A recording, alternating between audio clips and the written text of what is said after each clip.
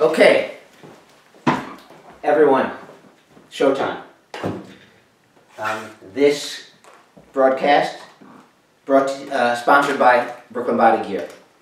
Uh, best underwear money can buy. Okay, guys, BA14, chapter 5. We're going to start with chapter 5 first, and then I'm going to go back to chapter 1 and chapter 2. But this, is, this week um, is chapter 5, and the homework and articles are related to Chapter 5. Analyzing the marketing environment. The whole idea of the marketing environment is to, the whole idea of the marketing environment is that you have to constantly analyze. If things change in the market, you have to change your marketing strategy and your marketing plan based on what happens in the market. If you remember, if you started reading the articles about, uh, about cereal, obviously the market's changing with cereal. We talked about this in reference to um, chapter 1, we talked about, in chapter 1 we spoke about how milk, things are changing in milk, which is why they had to advertise milk, because the environment changed. So then you have to change your strategy. So we're going to talk about analyzing the marketing environment, and this is everything that we're going to talk about. So, let's start. This is the whole thing that you need to know. Okay? The customer is in the middle. Okay? And then you have the immediate environment. The three C's for the immediate environment. Three C's. The three C's are the company, your own, your company, your competition, second C, and your corporate partners. Who are your corporate partners? We talked about this. Who is Starbucks' corporate partner? Right? The roasters, the landlords. These are the people that are their corporate partners. The cup guy, right? The cup guy that I always talk about. Uh, corporate partners. So the three C's are the immediate environment. Of course, the customer is in the middle. Why is the customer in the middle? Without a customer, you have nothing. Okay? And then there's the macro environment, which is known as CD STEP. C-D-S-T-E-P. CD STEP, the easiest way to remember the macro environment. C, culture. D, demographic. C, D, S. It doesn't have it here, but S. They have culture twice, but it's supposed to be S. Social. Social. T, technological. E, economic. P, political. Any changes in any of these macro environment, of course you're going to have to change your strategy. We already know that the, uh, the culture of drinking milk is not the same as it used to be 30 years ago, which is why the culture of milk, um, drinking, culture, uh, drinking the milk is changing, okay? Economic changes. Right now, we have corona, the coronavirus. Of course, there might be changes in the economy now. We already know why is the market dropping, why um, many companies are now forecasting that their sales are going to be down for this year. And they're probably going to make many changes once the corona is finished to try to bring the sales up because of economic conditions. Get it? So, remember, customer in the middle, the three C's, immediate environment, company, competition, corporate partners, okay? And the macro environment, easiest way to remember, CD step, CD step, culture, demographic, S, social. T, technological. E, economic. P, political. Okay, let's go through each of these. The immediate environment, the company. Let's talk about the company. The point about the company is that the company has to focus on their core competencies. Core competency. Let's take the word core. Core. This is your core. What does that mean? Main. The main part, right? The main part of your body is your core. The main part of the company. The core of the company. Competency. The main thing that they are good at. Competent. Okay, competency, core competency. What are they good at? What is Coca-Cola, what are they good at? They're good at making a quality product. They're good at their marketing. They're good at locational excellence, which we talked about in chapter 2. They don't make snow tires. Coca-Cola does not make snow tires. Why? It's not their core competency. They take their core competency with their existing knowledge, facilities, and their patents, and they apply it to new markets, new products, everything that they want to do. Which is why they made uh, well, this is not a Coke product. We know Aquafina is Pepsi, but this is why they don't make snow tires. They're making Gatorade. They're making other products that are complementary to their own uh, product line. They, they want to uh, successfully leverage their company capabilities, their core competency, what the company does. If there's any changes in the marketing environment, for example, we already know that people don't necessarily drink diet soda all the time uh, because they feel it's unhealthy. Um, that might be a change in their own company policy, okay? Which is why we spoke about Coke Zero. Coke Zero uh, this was probably a concern when they first started their marketing strategies, that how many places can, can we sell to? There's one place that they can sell Coke Zero to. Where can they not sell Coke Zero? Any diet products. Whole Foods does not sell any diet soda. Okay? Why? They feel it's unhealthy. So that's one place where they can't sell it. So they're probably thinking, before we come out with this product, even though there's that core competency, this might affect our company. Okay? Uh, your competitors. Know your competitors' strengths and weaknesses, what they're good at, what they're not good at, and be proactive instead of reactive. Okay? If you keep chasing after your competition, you will never catch up to them. Okay, so it's always better to be proactive. Think ahead. Think of what the what the environment is going to go to. Think about what. Think about looking ahead on where the uh, marketing and the product and what the customer wants before it happens, so they can you can come out with it beforehand. That's what was so great about Apple and their iPod, or not the iPod, on the iPhone. Steve Jobs created a brand new product, which is instead of having the phone just um, just a cell phone, they are actually uh, you're actually using it for email and compute and all these other computer things. And obviously, this was a market disruption, but this is a little beyond the scope of this class. So remember, understand what your competitor is doing, and be proactive. And that's something that uh, you can be proactive. So, and this is why Apple is still ahead of the curve on this. Okay, and of course, what's the third C? Your corporate partners. What are your corporate partners are? Your your uh, operations, okay?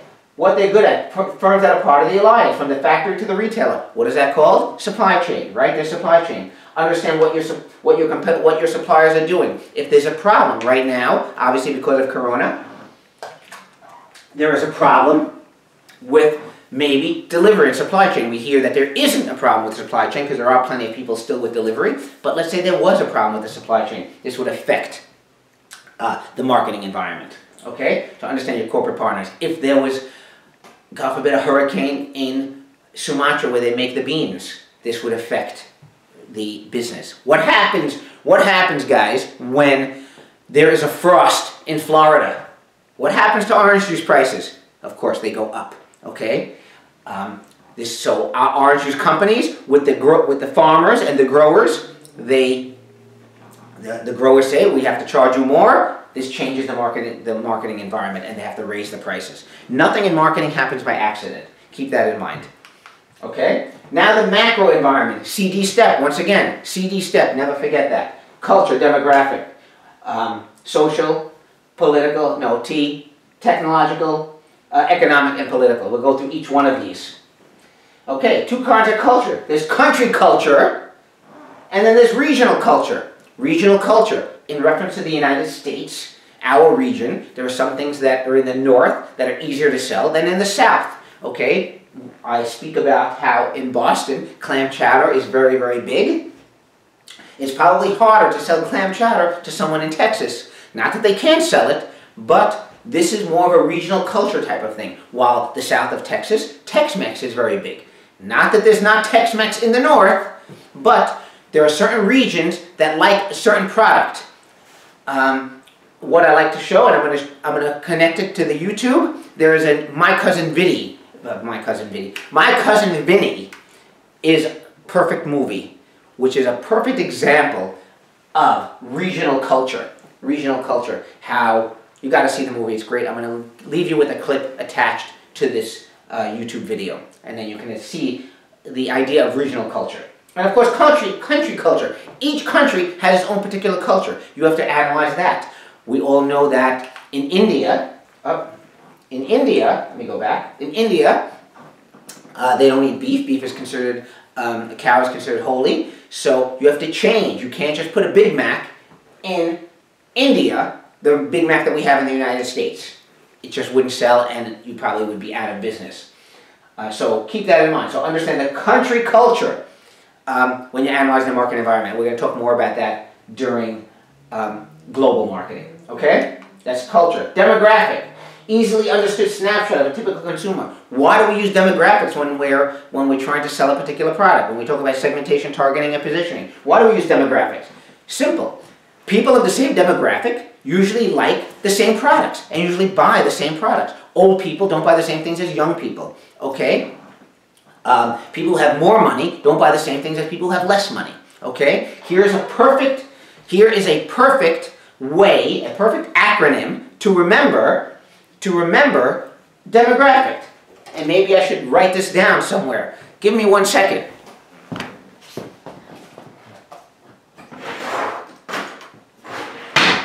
Here is, here is the best way to remember demographic.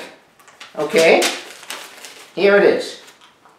Ah, let me go back. Okay, here it is. A, G, I, E squared, or coefficient. Or maybe squared is up there. A, G, I, E squared. The best way. What is A? Age, gender, G, gender, I, income. E, education, and second E, ethnicity. Okay? People of the same age like the same things. People of the same gender can buy the same things. There are some things that are gender specific, obviously. Income, we already spoke about this.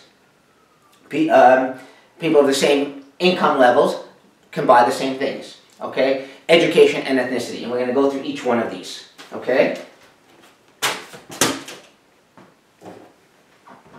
Okay? Generational cohorts. There are different kind. There are different generation levels. So even in reference to age, keep one thing in mind. The, the fact that the people of different age groups like different things. Baby boomers, my, my dad and my mama, okay, like something different than I like. Okay, than I would like. And where am I? Okay, I'm probably, even though we like to pretend, I'm, I usually say 1947. But yes, there are people that, there are things that I like that are different than what you guys like, than my students like. Obviously, we always talked about that I like Sting, the group, the, the, the musician Sting. Half of you guys, three quarters, actually all of you guys, never even heard of him. Okay? You're in Generation Y to Generation Z. Generation Y, also called millennials, right? But as you can see, the generational cohort should be broken up even further between Generation X. Actually, uh, Generation Y is a little too big, 1977 to 2000. Imagine someone born in 1977 compared to someone who's born in, 19, in 2000. You can't be the same generational cohort. You like different things. So this is really broken up. They actually call them xennials, okay, which means um, part of Generation X up to a certain point, 1977 to maybe 1987 or 88. I would, I would uh, split this I would split this probably in half, right? So uh, 23 years, so I'd probably make it 11 years and 11 years. Uh, xennials, 1977 to let's say 80, 88, and 88 to 2000 would be a different generation of cohort, is what I would do. And they call that now xennials. Different people, different generation. My nephew, who's Generation Z, doesn't even know what a phone on the wall is. And As a matter of fact, he doesn't even answer the phone on the wall. When I was younger, the phone rang, we ran to answer it. Today, he doesn't even answer the phone. And I say, why do you not answer the phone? He goes, why would I answer the phone? It would never be for me. And he's right. Okay, generational cohorts. A, that's A. Okay, G, wait, where's G? Okay, obviously, oh, we're talking about income first.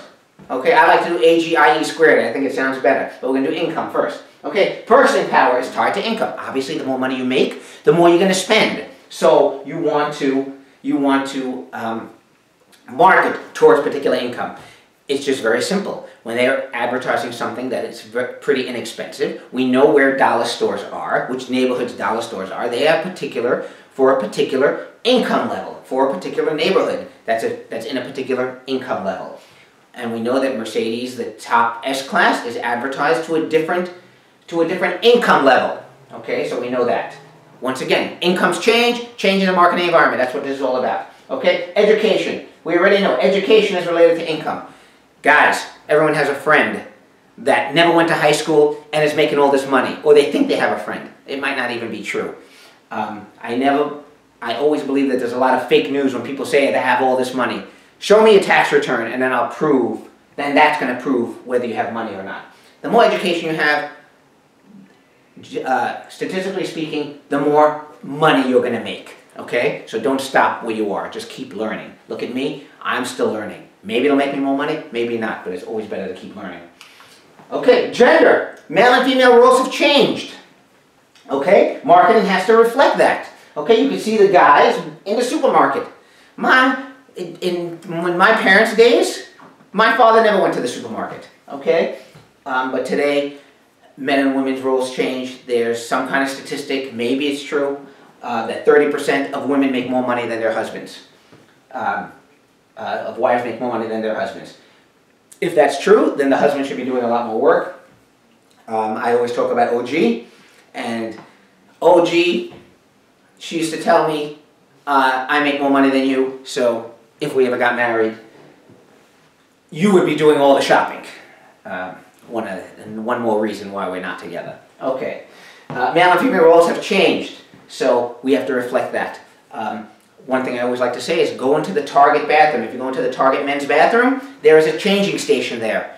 There was never a changing station in a men's bathroom until uh, the past 10 or 15 years because gender roles have changed. Okay? Ethnicity. Okay, you, there are different uh, groups in our country, and you want to uh, market towards that particular group. As you can see, Wendy's, there's a Spanish ad, might be in Tax, Texas or in uh, Southern California where the majority of Hispanic people. It could actually be in New York or where there's a majority of Hispanic, uh, Florida, of course. Okay, um, you would probably want to, or you wouldn't probably, if you were someone like Wendy's, as you can see, you want to market towards that particular ethnic group. Why not do every particular ethnic group? Okay? So we went through AGIE squared, remember that.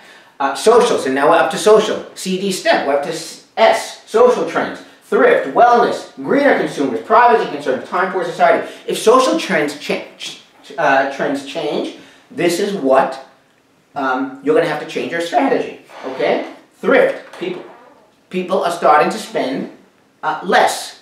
Um, even though we're in a good economy right now, who knows what's going to happen with the coronavirus? This might be something that might change people's idea of spending. Okay? You want to save more. People are saving more. Um, people don't have as much money. We know that, that a lot of students have student loans and aren't making as much. So they're trying to save money and they don't want to dip into their savings. Thrift isn't, is uh, something that we have to worry, be concerned about today from a marketing standpoint. And because of this, why everything is now is that they use uh, some benefit segmentation. We are cheaper than the other guy. Okay?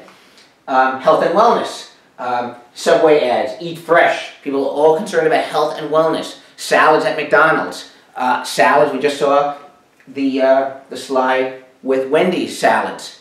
Keep one thing in mind. Health and wellness, healthier food, Chipotle, all of this idea of we want to be healthy, okay? And we want to, we don't want to eat all this fattening stuff. Okay? Uh, greener consumers. People concerned about recycling. Everything is recycled, right? The, uh, the Starbucks napkins recycled, the cups recycled, right? Everything is recycled. The paper, uh, you recycle paper. People are concerned about recycling, okay?